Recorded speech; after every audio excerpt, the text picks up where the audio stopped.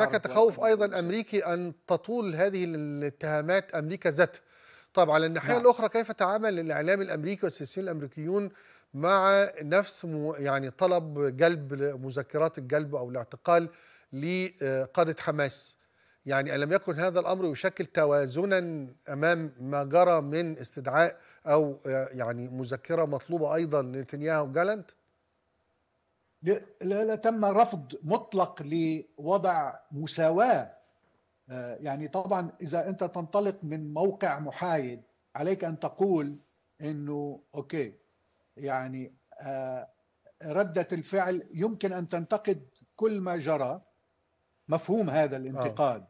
ولكن من الواضح أنه على المستوى الدولي والرأي العام العالمي وعلى المستوى الإجرائي الفعلي الارتكابات والانتهاكات الإسرائيلية والتي طالت ليس فقط في غزة إنما المستوطنين وأيضا ما يقومون به في الضفة الغربية صحيح. كل هذه الأمور ترتقي إلى مستوى أن يتم وضع أكثر من شخصيتان فقط يعني م. أن يتم ضم كل الشخصيات التي من خفير وكل المجموعات اللي بالتأكيد آه. بالتأكيد ولكن الإعلام الأمريكي طبعا هو انتقد بشكل أساسي الإعلام التقليدي والأساسي انتقد الخطوة هذه لأنها ساوت بين الاثنين ولم يكن هناك تعاطفا بالتأكيد مع الطرف الفلسطيني في هذه الحالة. كان هناك إدانة للطرف الفلسطيني ولكن بسبب ما جرى في السابع من أكتوبر. ولكن على المستوى العام هناك إدانة واضحة لما تقوم به إسرائيل. نحن المجازر يوميا. على المستوى الشعبي صحيح. بالتأكيد نرى نرى نرى رأي العين يعني. طيب دكتور وهذا منذر أمر, أمر غير مسبوق.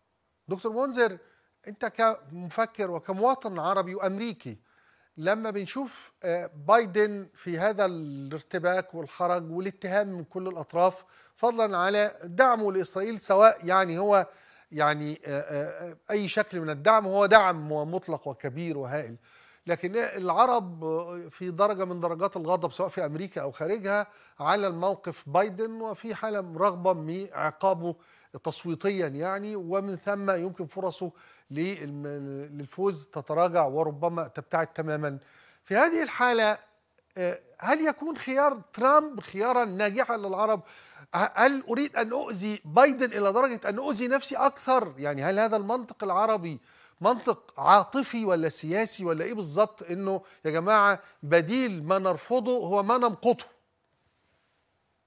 هو للأسف الخيار صعب بالنسبة للمواطن العربي والناخب العربي فيما يتعلق في الخيارات بين بايدن وترامب.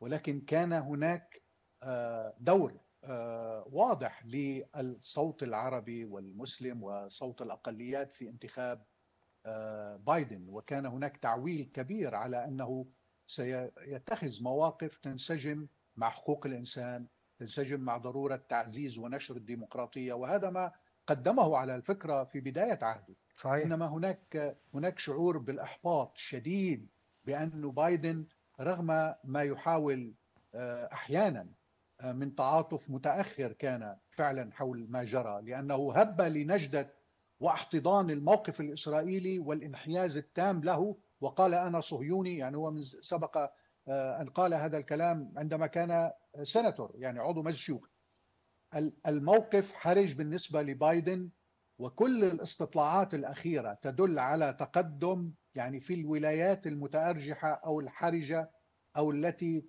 يعني تتأرجح والتي عادة تذهب مع التيار يعني إما لل... إما للحزب الجمهوري إما للحزب الديمقراطي. هناك خمسة إلى سبع ولايات. في ضمن هذه الولايات هناك ثلاث أو أربع ولايات فيها صوت عربي مميز وخاصة نحن نتحدث عن ولاية ميشيغان ولاية بنسلفانيا شيكاغو بمناسبة سيناريو بمناسبة سيناريو كاليفورنيا. سيناريو اليوم التالي في غزة. أنا مثلا عن اليوم التالي لهزيمة بايدن. كيف يمكن أن يكون الموقف الأمريكي بعنوان ترامب تجاه ما يجري في غزة؟ هل هل يمكن أن يعني يضع أحد أي